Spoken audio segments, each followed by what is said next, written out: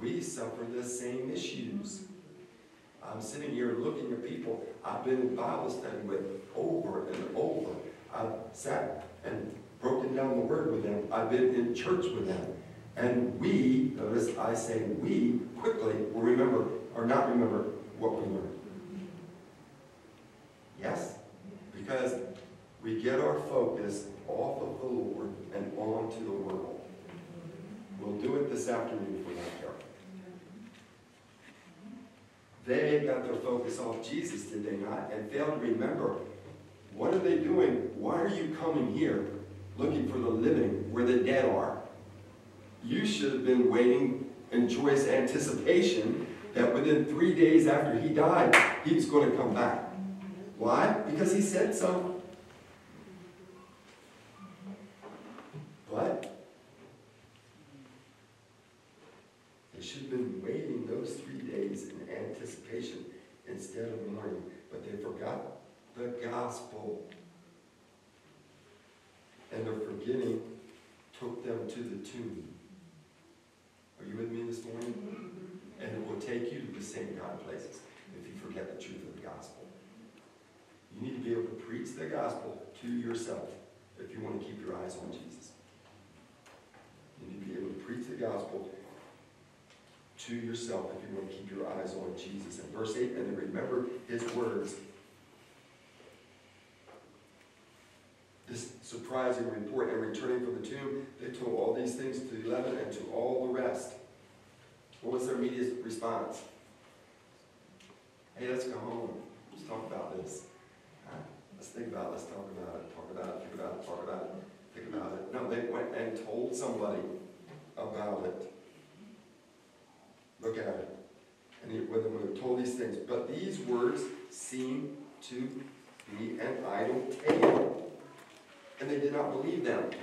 You know, one of the apologetics is a, a reason for the faith, and one of the things that people use is, is that the, the initial report came from women who weren't even reliable witnesses. So if somebody wanted to dream this up, they wouldn't have had women coming and telling people. They don't take what the women as being true in what they're saying. They think it's some kind of idle tale. I don't think they would have thought it was an idle tale if men had showed up. This was the culture of the day. Are you with me this morning? But God is working. They did not believe them. But Peter rose and ran to the empty tomb. Stooping and looking in, he saw the linen cloths by themselves, and he went home marveling at what had happened. What do we see next? Well, many people call this on the road to Emmaus. We're going to look at it. The scriptures were opened, right? So the tomb was open, and Jesus wasn't there. And the scriptures are open, and they're fulfilled. And so that very day, two of them were going to a village named Emmaus, and seven miles from Jerusalem, and they were talking to each other about all these things. While they were talking and discussing together, who drew near? Jesus himself, and went with them. Verse 4, verse 16, but their eyes were what? Kept from recognizing Jesus. So in a spiritual sense, they are walking and talking blind. They're kept from seeing the Lord Jesus. Is that not what the scripture says? And he said to them, What is this conversation that you're holding with each other as you walk? Isn't that interesting? And they stood still looking sad. Then one of them named Cleopas answered, Are you the only visitor to Jerusalem who does not know the things that have happened there in these days? Think about that. Are you the only person in Jerusalem who does not know what is happening there? Everyone? He's the only person in Jerusalem who knows what's happening. Yes? He's the only person in Jerusalem who knows what's happening at the time. They ask him if you're the only person who doesn't know what's happening. He's the only one who really knows what's happening. Verse 19, he said, no, he's playing along. What things? As if he didn't know. And they said to him, concerning Jesus of Nazareth. A man who was a prophet, mighty in deed and word before God and all the people, and how our chief priests and rulers delivered him up to be condemned to death and crucified him. But we, notice, had hoped. They aren't hoping, they had hoped. That means they don't have any hope. They had hope, but the hope was over because Jesus is dead. But we had hope that he was the one to redeem Israel. Yes, and besides all this, it's now the third day since these things have happened. Moreover, some of the women of our company amazed us. They were at the tomb early in the morning, and when they did not find his body, they came back saying that they had even seen a vision of angels who said that he was alive. Some of those who were with us went to the tomb and found it just as the woman had said. But him they did not see. Wow. Think about that. We find two witnesses who get some background of the main subject of the story. The scriptures are going to be open to them and fulfilled. Watch what happens now. And he said to them, O foolish ones and slow of heart to believe all that the prophets have spoken. That's so important. We're talking about the Old Testament here. All that the prophets had spoken. Question, was it not necessary?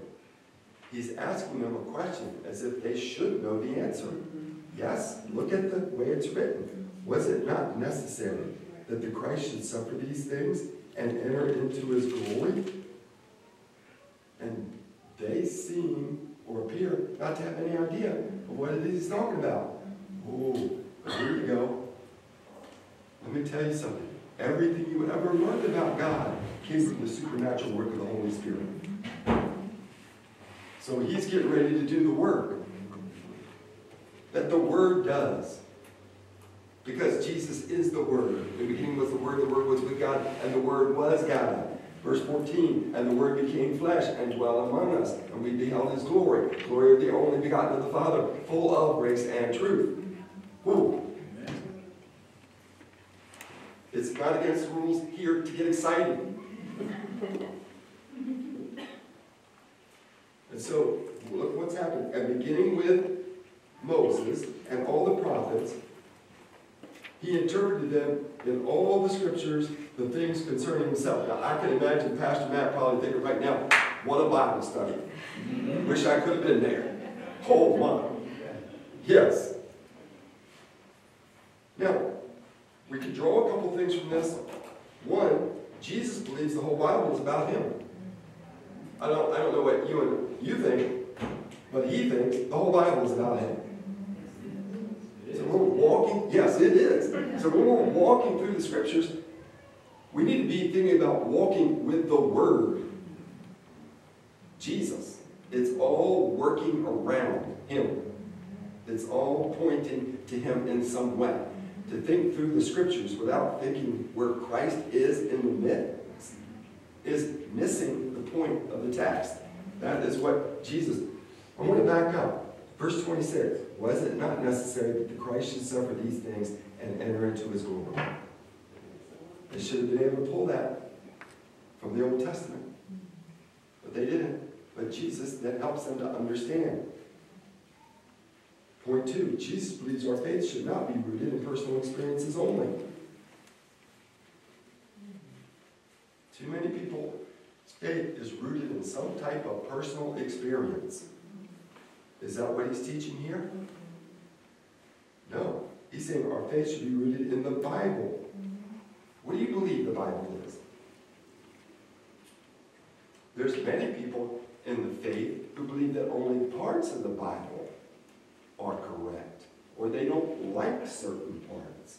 You, yeah, they, you, you can't you can't take one piece out of this without saying all of it is incorrect. And so, how do you see the Bible? What do you root your faith in?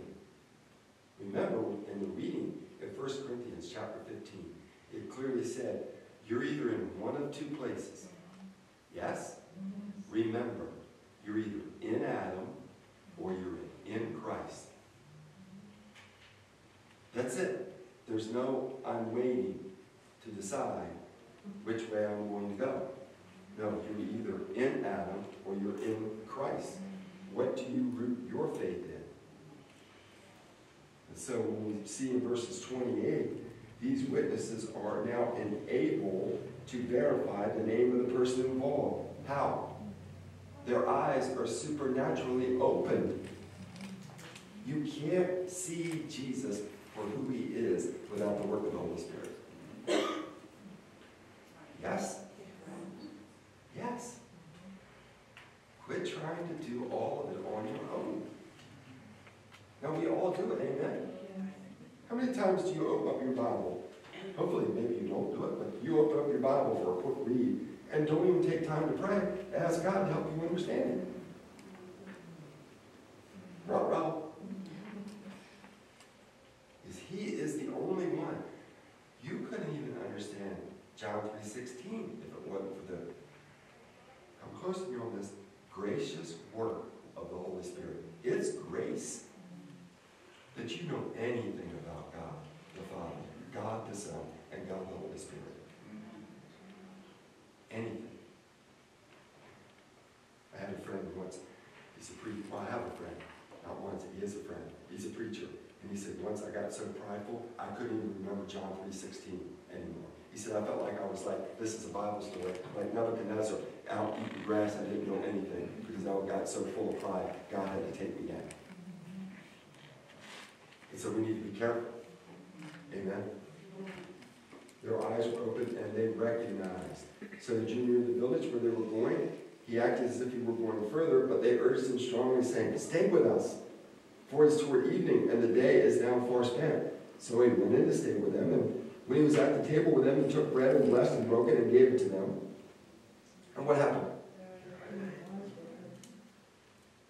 They didn't open their eyes, did they? They didn't all go, oh, You ever done this? Quite remember who you are.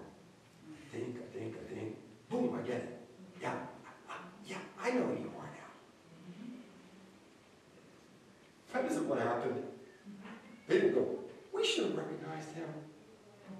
No, their eyes were open and they recognized.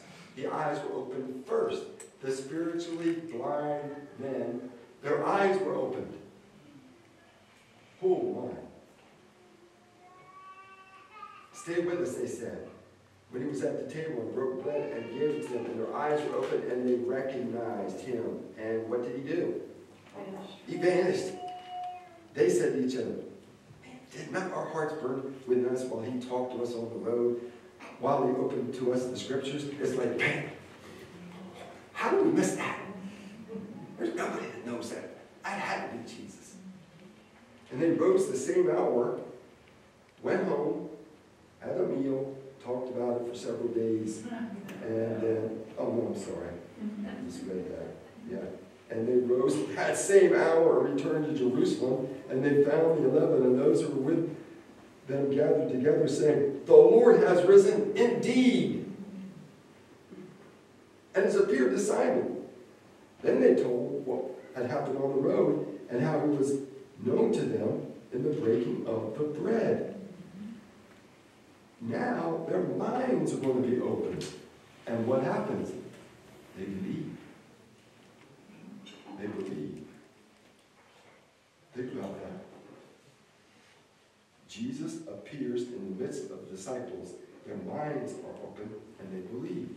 Let's walk along with it beginning in verse 36.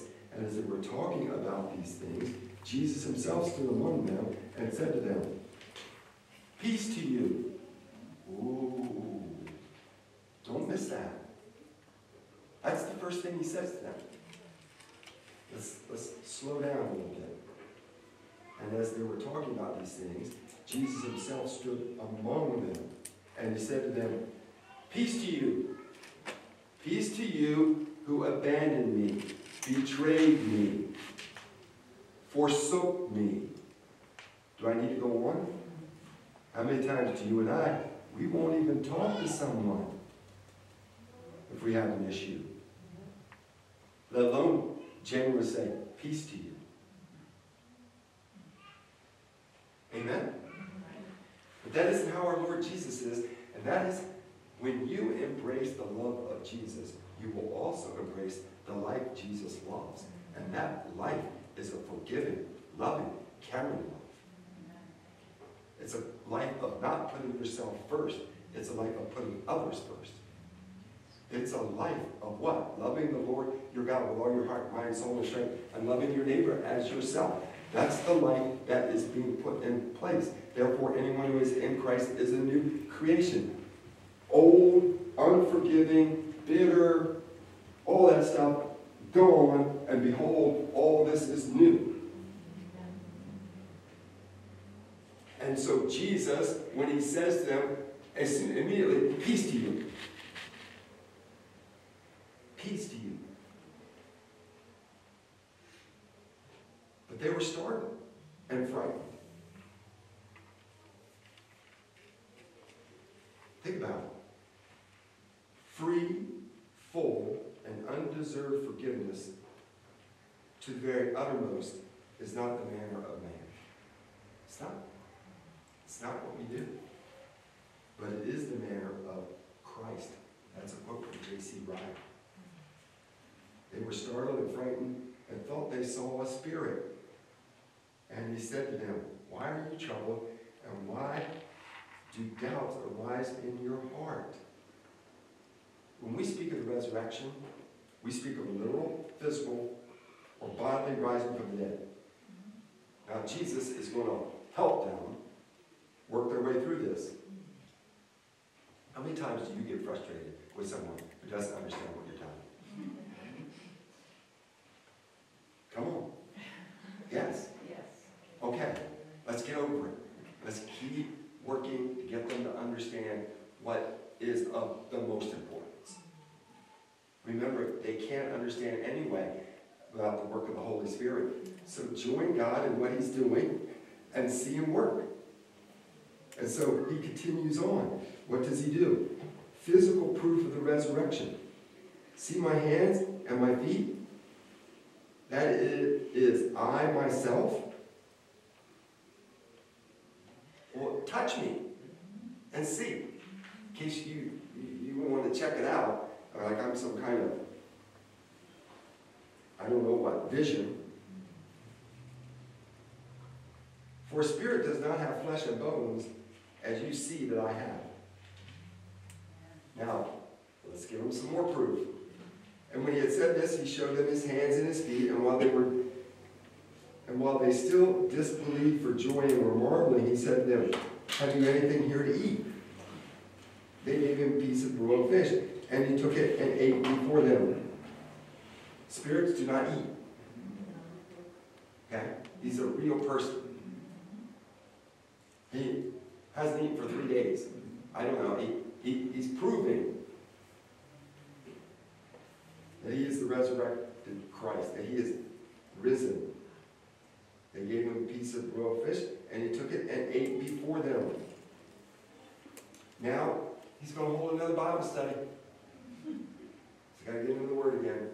Here we go. Then he said to them, These are my words. What? That I spoke to you. I've spoken to you. Remember we went to the gospel according to Matthew? Three times he did that. They were probably a lot like us. They weren't good at paying attention. Yes? These are my words that I spoke to you while I was still with you, that everything written about me in the law of Moses and the prophets and the Psalms must be fulfilled. Then what did he do? So that they could understand the scriptures. We get biblical evidence of his resurrection. Amen? And he opened their minds to understand the scriptures and said to them, Thus it is written that the Christ should suffer on the third day, rise from the dead, and that repentance for the forgiveness of sins should be proclaimed in his name whenever you think it's a good opportunity to some of the people in your neighborhood, to your cousin, to your brother. No, to all nations. we get bogged down on so many other stuff than this, that this has almost disappeared. The good news. The good news. Now, what is that? Repentance. That isn't a word that we use in Walmart. We're not going around saying, hey, you need to repent when you're there screaming at the clerk because you've had to stand in line a long time. Hopefully you weren't doing that, but maybe you think about doing. What does repentance mean? Well, number one, it involves confession. Repentance involves confession. You confess that you have done something wrong. Remember the thief on the cross. Remember? He confessed. It involves confession. That's admission of sin. What is sin? Missing the mark. Outside of God's law. What is the purpose of the law if we can't keep it? To show the holy nature of God. That I can't keep it. It's a tutor. It also involves contrition. You're sorry for your sin. How many of you have experienced someone continuously telling you for the same thing over and over and over, I'm sorry. Oops, I'm sorry. I'm sorry for that. Well then, would stop doing it. Yes? It's a sorrow for sin. It's contrition. And repentance involves a conversion. And that's what I just explained. A turning from sin. You're going to stop it. Please forgive me. I'm sorry. I'm not going to do it anymore. Yes? And so we're now at war with our sin. That's that's the message. Come close to me on this. Confession, contrition, conversion. That's admission of sin, sorrow for sin, and turning from sin. And what does the text say? And that repentance for the forgiveness of sins should be proclaimed in his name to all nations, beginning with that. Then he says, You are witnesses of these things, and so are you. You might be going, Wait a minute, I wasn't there. No, you're biblical witnesses. You have the word. It's what you were talking about today. You've got the word in front of you. We ask God, hey, oh, can we see this or can it? And he says, that's right, I gave you a book. Read that. If you believe it's true, then you were there in a sense, through biblical faith, your faith in the Bible.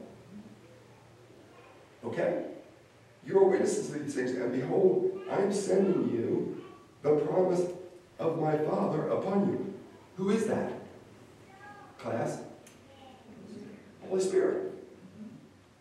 The Holy Spirit. But stay in the city until you're clothed with the power from on high. This is why we exist. To tell the world that Christ is risen from the dead. All the rest of it is nullified if he didn't rise from the dead. Why do we, and I do it myself, share the truth of the gospel many times and leave out the resurrection? Yes?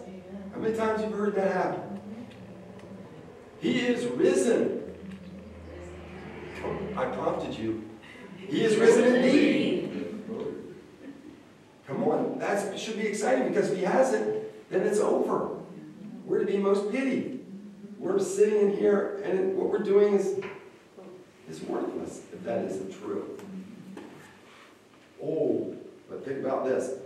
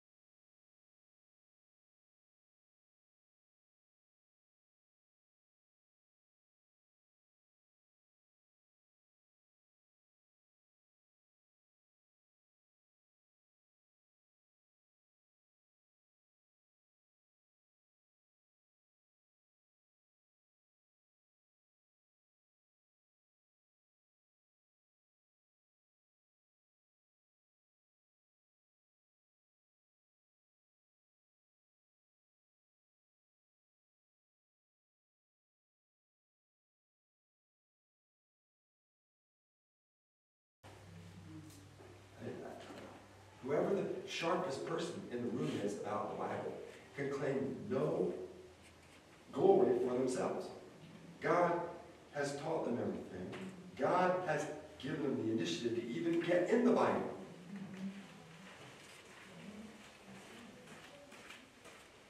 There's no room for pride in the Christian faith. Take some time to give God thanks for showing you more of himself. And then finally, and most importantly, where are you today? Are you in Adam or are you in Christ?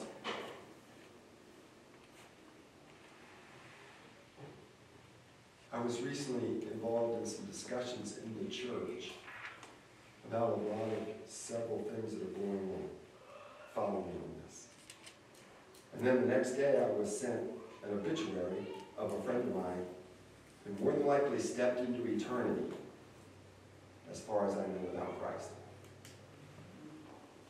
And the first thing that came to my mind was, why are we wasting time on these things when this is happening every day?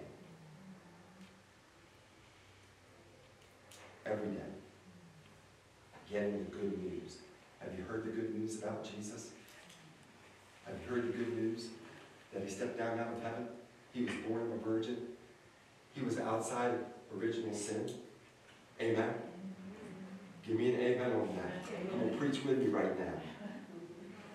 He lived a perfect life. He never committed a sin.